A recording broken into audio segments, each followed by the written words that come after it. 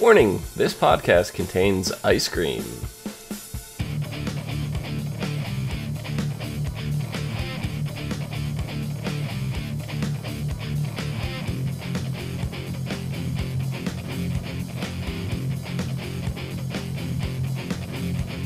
What's up, everyone, and welcome to the As on TV podcast for Gotham, Season 2, Episode 14 This Ball of Mud and Meanness.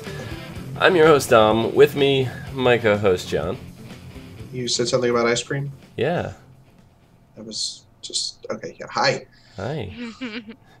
and my other co host, Nikki. Hi. How's it going? Still rocking that Gotham cream. thug hat, huh? Yeah. Yeah. Never gonna get rid of this. yeah, what what flavor was the ice cream? Do you guys even I, I couldn't even tell. I don't know. It was so gray in the asylum. It was hard to tell if it was like vanilla or chocolate It- or something else. It was like dead smack in the middle. It was like some kind of grayish color. I like Mhm. I was intrigued. I wanted it. It was brain matter. Big Ooh. freaking ball of it too. It was I, just. I thought it was mashed potatoes. So did I. If, if they didn't say anything about it being ice cream, I would have thought it was mashed potatoes. I'm gonna venture a guess and say that stunt ice cream does not resemble real ice cream very much. Gotcha. Yeah, it was probably You know? plastic to be I don't honest. We didn't see anybody eating it, so I'm just gonna assume it was plastic. Uh, yeah. So, yeah, but uh, Penguin's uh, therapy treatment. What do you What do you guys think about that? It's a ass backwards way to make him more aggressive.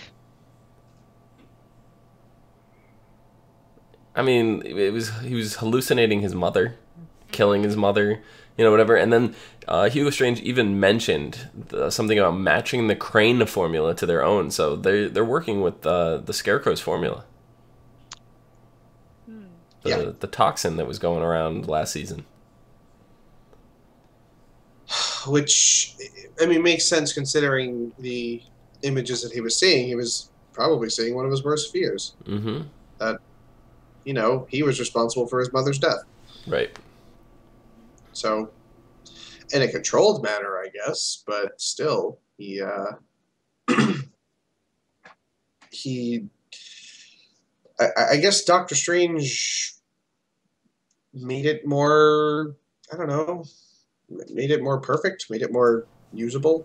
And Yeah. less, you know, murder frenzy. I mean, it seemed to reform Penguin. It didn't seem like he was acting, you know? He seemed very legit about it. If he was acting, it was fucking incredible acting by the Penguin there. Mhm. Yeah, which I don't think he could pull off. No. And mind you, we're not talking about the actor. We're, we're actually talking about the character Penguin. Yeah. But, yeah. Yeah. Uh, so they released him, and uh, Hugo mentioned that he has plans for the Penguin. Plans that don't even include the knowledge of Mrs. Peabody, which Yeah, she found really strange. she found it. Hugo strange. well, I mean, she kind of like once he said that he wasn't, you know, ready to reveal it to her. She's like, "Fine, I don't want to know." Then, like, And she's like, I only know about all these strange things going on in the basement, but, you know, I can't know about this, you know, so that's saying something. That is Sure saying thing, sir. something. All the Mhm. projects going on at Indian Hill. I think he's trying to revive Jerome down there, you know? Like, oh yeah, You know, and Yeah. if that's the case, Jerome may still end up being the Joker after all. Could be. It's a comic book show. Anything could happen, you know? hmm Just because we watch somebody die doesn't mean they're dead, except for Thomas and Martha. Rest in peace. Yeah. But uh, yeah, so Bruce spends this episode trying to avenge his parents. He gets the gun from Selina, which was really shady. He just like strolls up in the middle of an alley. You know, they they're out in public. They're not in like one of Selina's many like hiding places. They're not inside an abandoned warehouse. You know, anything. They're just out in the fucking alleyway of a street. Just hey, here's a gun. A little weird. Good judgment call by the 12 year old's part. Mm-hmm. Mm-hmm. Let me tell you. I don't know. When I was 12 and I was trying to sneak things around, I definitely didn't do them out in the open. No. No, You know, and you were sneaking like you know firecrackers and candy. right? That's a gun. so, yeah. I don't know. That's Uh, so. No, but then Bruce goes back to Alfred. They track down uh, this guy Cupcake, who's supposed to know where uh, Matches is, and uh, we we meet Cupcake in the middle of uh, Fight Club. Basically, yeah. Yeah. Big, heavy set black man with some Perfect nickname. face tattoo. You know, I don't like Mike Tyson face tattoo going on. Yeah. and uh ooh, he wants to fight Alfred for for the information. I like how Alfred tried to pass it off. I was like, I'm not a fighter. I love through the whole thing the like the talking and like the lesson he was teaching Bruce as he's fighting. Like instead of focusing on the fight, which if he did, he probably wouldn't have got his ass kicked as bad. no. Maybe not. I think that was also part of the lesson, too. Yeah. hmm Uh, I don't know. Proving that even if you have the knowledge doesn't mean you're invol- like you're invincible kind of thing. Right. Yeah. You're gonna get hurt. Mhm. Just try to know what you're doing so you don't get that hurt. Yeah. But still, he was all like, "Pip pip chitty, stiff up a lip and all," and just beat the shit out of the guy. Like I don't. Alfred, you're you are truly the enigma of the show. Well, I thought Alfred was going down. Right? He he looked like he was out. Yeah. The guy was sitting on top of him, had him pinned, and is just beating him in the face. Yeah. I thought he was done. It wasn't looking good. No. you know, and And, he came out on top. he and did, Then he- he fell right back down. he got the information. They said go speak to Jerry, you know, whatever, at so and so place, and then literally just dropped. it was like it was like the um what do you call it? Like cartoon, like knockout, just free fall drop, like doesn't, you know, use his hands. That's that's a really difficult fall to make without using your hands. Just saying. Yeah. Like even if Yeah. you know you're landing on padding, like if you have the opportunity to try something like that on a like a trampoline or something, it's really hard to do without moving your hands to brace yourself. It takes a lot of training to do that. Yeah. Yeah. So it's it. I, I was super impressed. But um, I don't know. Rumor has it that uh, Fox has trademarked a uh, copyright claim for a, a TV series called uh, Pennyworth. So is it gonna be like Alfred in his younger days? That's a suspicion. Yeah. That's what I was thinking. But it could very well just be a spin-off of what's going on right now if Bruce is out on the streets and Alfred's all alone, you know, in the, the mansion for a while. It could be Alfred looking for Bruce in, in Gotham. It's gonna. Oh my god, he's gonna have sick parties. now that Bruce is gone, dude. You know, I, like I don't know, and it could be it could be some flashback stuff too. You know, involving some older days of of Alfred. It could just all take place in the past. You know, through flashbacks. Um, you know, kind of like uh, Marvel's doing with Agent Carter. Yeah, You know, they could do a timepiece like that. Um, which would be great. By Yeah. the way, it would. So and I think it'd be it'd be a good opportunity to see um, him and his buddy from the war together. Mm-hmm. Uh, I forget his name now. yeah, it's Robert? been- maybe I don't know. Bobbert. Bobbert. Bob. The other thought I, I was thinking of like, what if it was about his daughter Julia, who, you know, exists, but he is estranged from. That could be. You Yeah. know, like or, or, or like their relationship, or like what caused them to, Yeah. you know, that could be pretty cool too. honestly any one of those i'd probably prefer present day more um, with a, a touch of flashbacks you know like to to tell the story kind of the way like arrow is doing if you if you ever caught you know some episodes of arrow where they he's got this time where he spent you know on an island whatever and when he was missing through all these years. And then you have present day, so he's going through and doing stuff, and then it's flashing back and it's showing something from his past that compares to something in his present to to make up what's going on. I think that would be a cool format for Alfred just to give, you know, a little bit of everything to to people, you know, so they get to see a lot of his history, a lot of the stuff that people are very curious about, but it's also kind of advancing a side story of what's going on currently you know because you can't completely get rid of bruce and, and alfred from gotham though that's that's the big thing No. is you make a spin-off of them and you can't just have a story about gotham that doesn't include bruce No, So- of course not.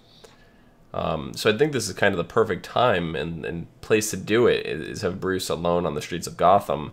They can still work him into the episodes with Selina and everything, but there's no real need for Alfred at this point, if that's the case. You know, I mean, they could show him, it's fine, whatever, but what's he going to do? Like, hunt around for Bruce? That's something, that seems like a better TV series to me.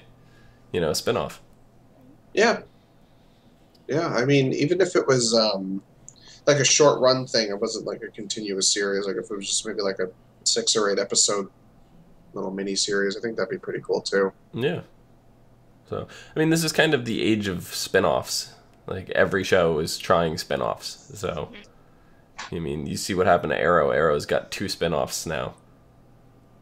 You know, Flash and Legends of Tomorrow. You know, they all spawned from from that and technically you can include Supergirl in that because it's in the same sub-series of universes, but Yeah. Mm-hmm. um, so if Gotham's doing it, like all the shows on the CW are doing it. You know, Supernatural tried to do it. Vampire Diaries has done it. Um, even Pretty Little Liars tried doing tried their hand at a spinoff. You know, everybody's trying spinoffs. So should be interesting. Um, I enjoy spinoffs, um, but that does put a lot more work on our plates. So It does. Uh-huh. so that's that's my one concern. But maybe it'll end up being a web series, you know? It just Yeah. says it says it's a live action uh, format. It doesn't say anything about television. It just says live action format. So like something live cool. action comedy elements, you know, something like that. So yeah, I, I feel like even a web series would be perfect, you know? yeah. So, anyway, uh, after the fight, Bruce gets uh, the information to go see Jerry, um, which is in this kind of club. And Jerry is the lead singer of some band.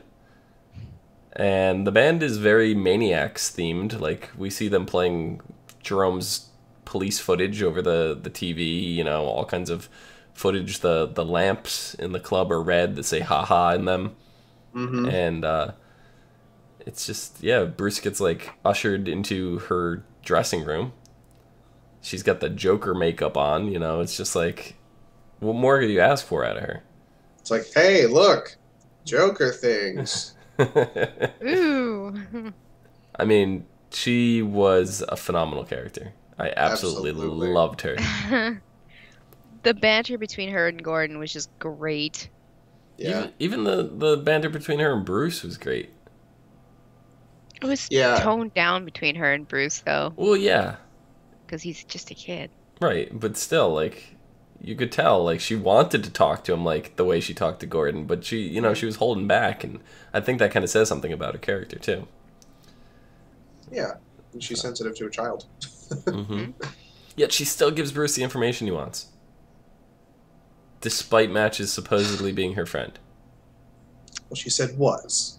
Was they had a falling out, Hmm. but also I think you know being his friend at one point, she knows the position that Malone is in, or matches, and uh, knows that, well, he wanted to do what he did.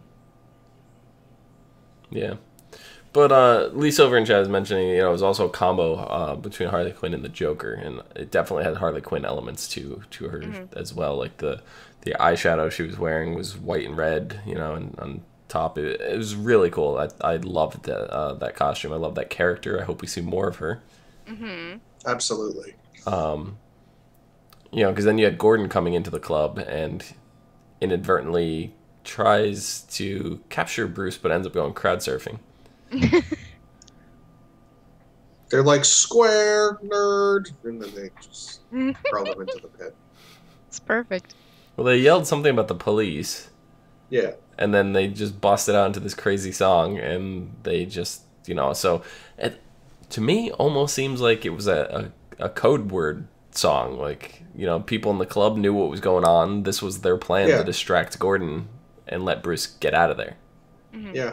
So it, it's probably something where where a lot of like shady criminal deals and things go on in this club and they have code words for stuff like this. And that's why I'm thinking Gordon ripped her out of the club and arrested her. Sorry, my phone went nuts. Are you the Power Rangers? I am. I am. Zordon. He's contacting you. He is. I mean, it, it was pretty funny because like. I, I was like, Jesus Christ, Gordon, how the hell are you getting out of this one? And just somehow miraculously, I guess he did. Mhm. And then arrested her. I was like, I wanted to see that. I yeah, wanted to see you do it. Interesting. But yeah, getting her in in the um uh interrogation room. That's so good. Yeah. I think that was my favorite scene this season. So far, anyway. Yeah. It's pretty close to it. Yeah, for me, anyways.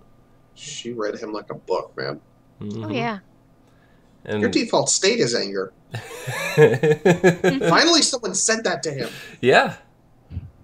Oh, it was great because Jim's been, like I said, J- Jim has, for me anyway, has no redeeming qualities on this show. Like, I, I don't, I don't like Gordon at all. Like, I'm hoping it'll get back to the point where I care about him. I did in season one, you know, but just lately,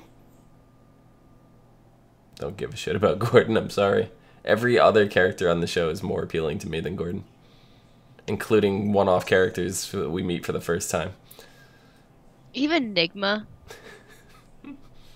Yeah, because I mean, Gordon's kind of on the Kristen Kringle case now, you know, Mhm. thanks to Lee, and you know, he's investigating, he's questioning Nygma, like, can I? You mind if I see the letter that she gave you? And he's like, I, I didn't consider that a keepsake. Okay. So, Nygma just like starts having these like flip out monologues. Which is friggin' ridiculous. I'm like, You're you're talking really crazy. loud. You're really loud right now, Nygma. I know. He's trying to think. Make me think I'm in a false sense of security, and he's going to make me think that I'm a fool. I'm not a fool. He's a fool. It's not like he's inner monologuing. He's definitely outer. Yeah. He's so paranoid. hmm It's it's pretty funny because I'm pretty sure Jim is not playing dumb. He legitimately has not paid much attention to this case yet. No. No. He hasn't had the He's time. been preoccupied. He's got everything Yeah. going on, you know, with Bruce right now. He's got everything going on with his uh, girlfriend. We just got out of the Mr. Freeze situation. It's like Jimbo. It's- You don't. He doesn't know anything. He- leave him alone, he Nygma. Really doesn't. Leave him alone. You're freaking out for absolutely no reason. hmm And he's gonna get caught because he's so paranoid, and then he acts without having to act. Mm-hmm. Right. Right. Yeah. Um, but when uh, when Nygma, when Gordon was talking to uh, Jerry, and Jerry goes, "What? Do you have the time?" Bruce just like, I mean, uh, Gordon just shows him the watch, and shows Jerry the watch. Sorry, and uh, Jerry goes, "Oh yeah, it's probably you know he's he's there already. So yeah, I'll give you the place." So she gives Yeah. Gordon Match's address. In the meantime, we cut over to to Bruce, and we see Bruce talking to Matches. Right? He knocks on the door. We get this whole story about how Matches actually wants to die. Bruce can't bring himself to kill him because he's not a monster. Um, leaves the gun on the table, walks away, and Matches blows his own head off. Mhm. So, Yeah. Do you guys think he's the killer? I don't know. He didn't like.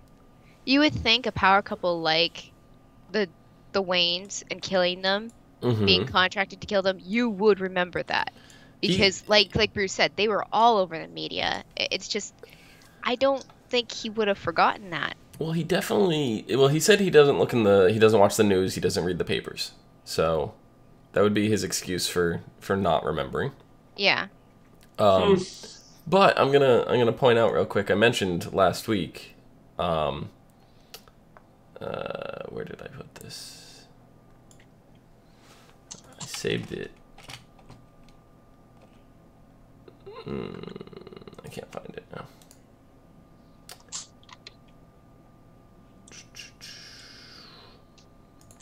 Let me see. Um,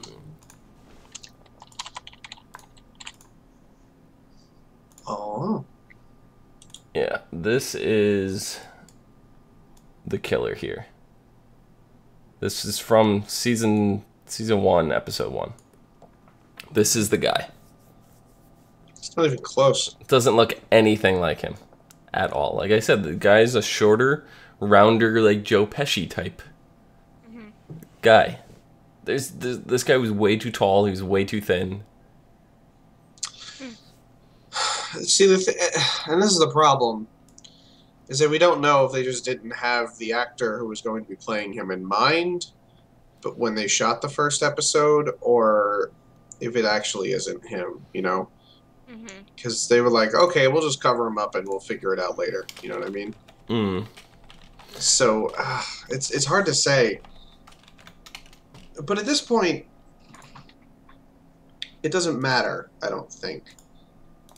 There's Um, there's kind of been this theory going around. There's a guy in episode two, Selina Kyle, um, that uh, Harvey stepped on this guy's shoes and he said, "Hey, watch the shoes."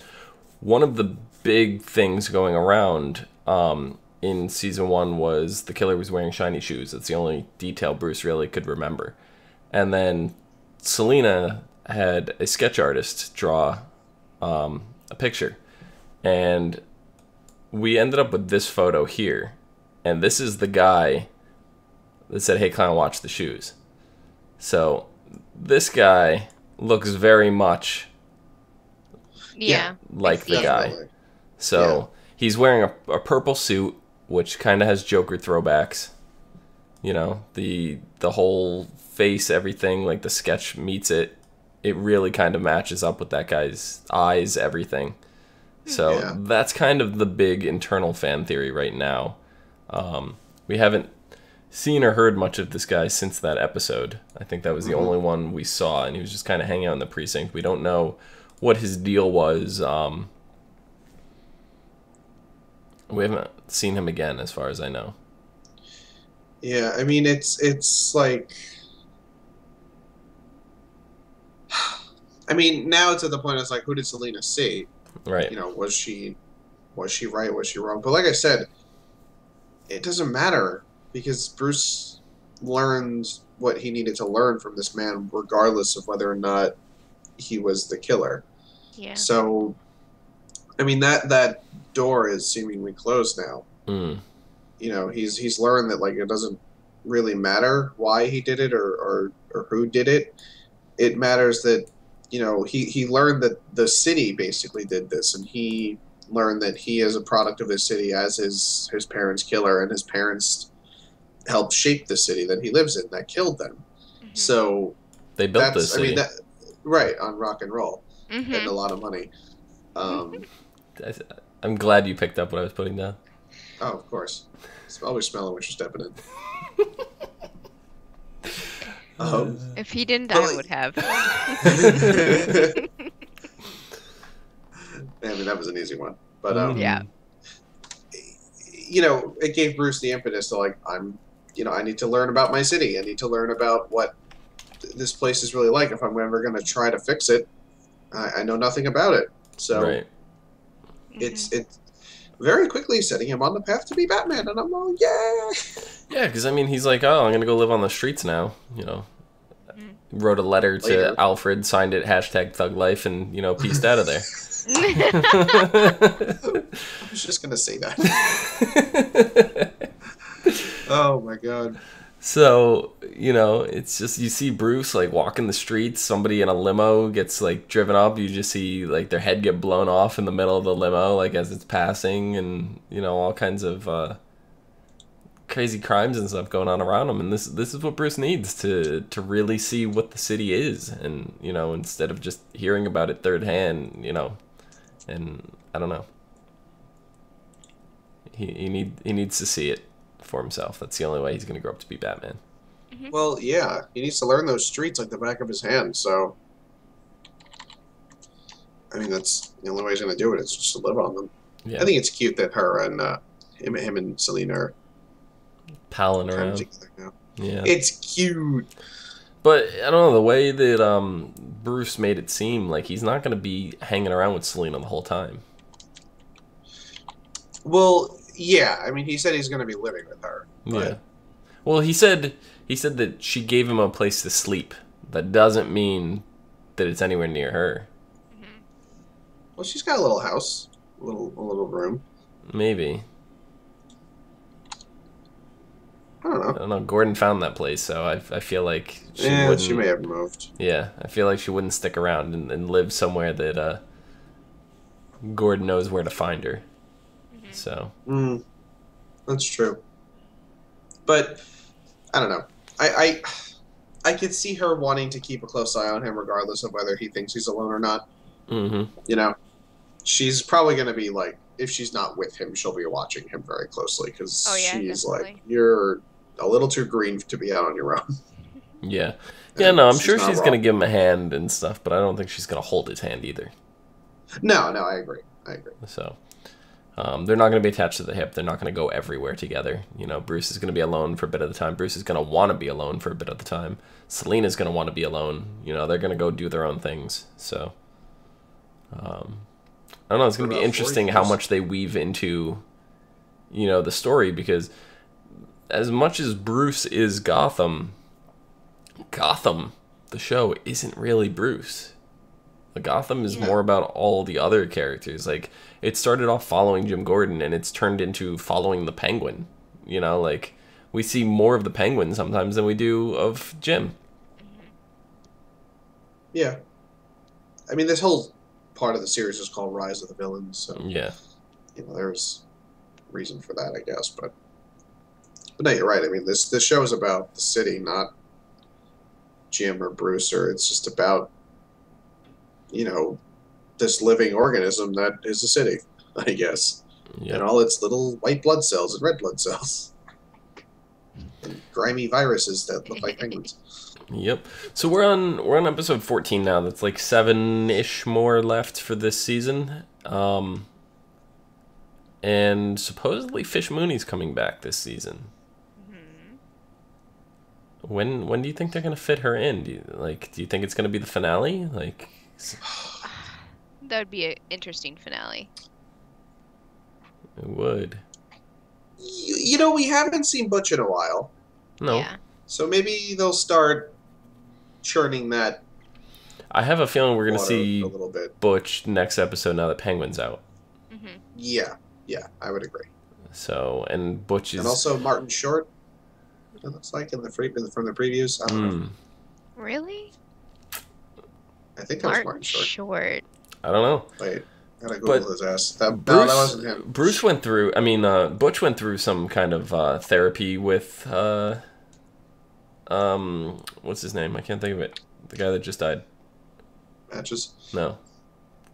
But uh,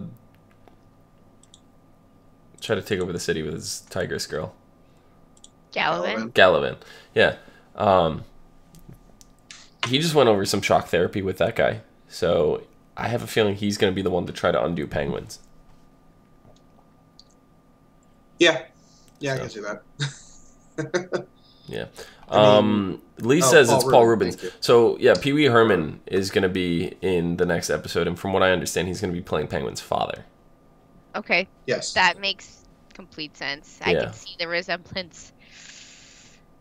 but it's like, is he though? I don't. Is this part of Hugo's hallucination. Yeah, I don't know. We'll see. Hmm. Um, I was before I go into the synopsis for next episode. Is anybody else upset that uh, the title of this episode, "This Ball of Mud and Meanness," there was no mention to Clayface? Me was. I was I was expecting something out of Indian Hill, even if it's just a passing reference, you know, but there was nothing. Well, I get what they were actually talking about. They're talking about like you know, the foundation that is the city. Right. I get it. Okay. God damn it. Nikki's like, who the hell is Clayface? I'm sorry. Uh, In due time. In I'm due sure. time, Remember I'm those, sure uh, this show's gonna cover it at some point. you want to know what Clayface is? You played A Link to the Past, right? No. Ah, damn it. All right, never mind. I had a good one. We'll get to that later. Okay. Yeah, we're we're gonna have to have a talk after this show. But before the few, few people who may be watching who do know what I'm talking about, remember in the desert there was those little sand dudes who would pop up out of the ground and go yeah, and, and grab at you? That's what Clayface looks like. yeah. That's like the best way to think of. if Nikki, you we're don't gonna know have to what have a this talk is. after this show. Um, the next episode is called Mad Gray Dawn. Um, Gordon and Bullock investigate a trail of clues left in a museum robbery, which, unbeknownst to them, were left by Nygma in a dangerous game of cat and mouse. Uh, Gordon's past comes back to haunt him when an anonymous person threatens to expose his hand in Galavan's murder. Meanwhile, Penguin's visit to some old friends leads him to meet his father, Elijah Van Dahl, guest star Paul Reubens. Uh, Bruce practices his street smarts in an all new Wrath of the Villains Mad Grey Dawn. So, Oh boy. Here we go.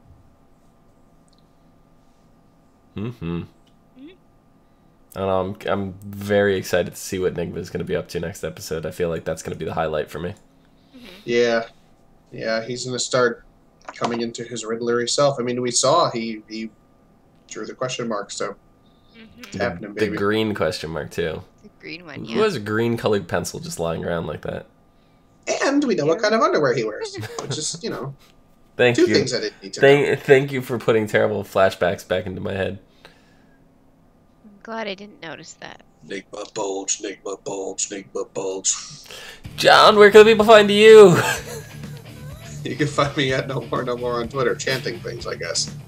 Tweeting out pictures of Nicholas Bulge. Uh, Nikki, where can the people find I'll you? do it. On Twitter at won't. LadyVenom24. L-A-D-Y-V-E-N-O-M-24. Got my phone. Don't do it. Don't do it. I'm gonna have to unfollow you. Uh, you can find me I am prepared Down- to meet against down below, unfollowing No More No More at Phenomedom.